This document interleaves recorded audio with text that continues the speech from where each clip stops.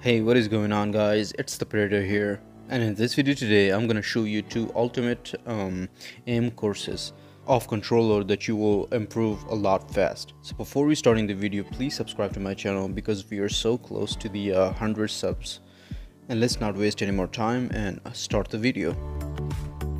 Okay, so this is the first aiming course where the target appears in different places in one box. All you need to do is to shoot it as fast as you can. It will not just improve your aiming of shotgun, but it will also increase your reaction speed.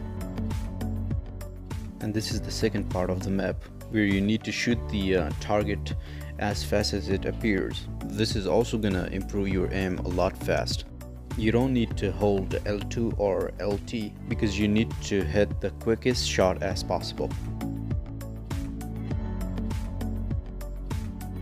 Okay, so this is the third part of the map where the bots continuously jumps which is gonna be hard to hit the right shot.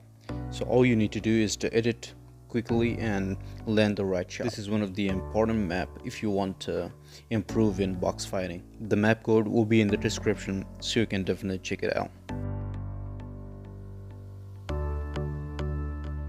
Okay, so this is the second aiming course map where you can see you can get all these um, kind of weapons.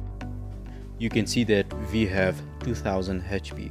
This map has two parts, one with the uh, cone box and the second is the normal box. In this map, you and your enemy will shoot each other in one box until someone dies.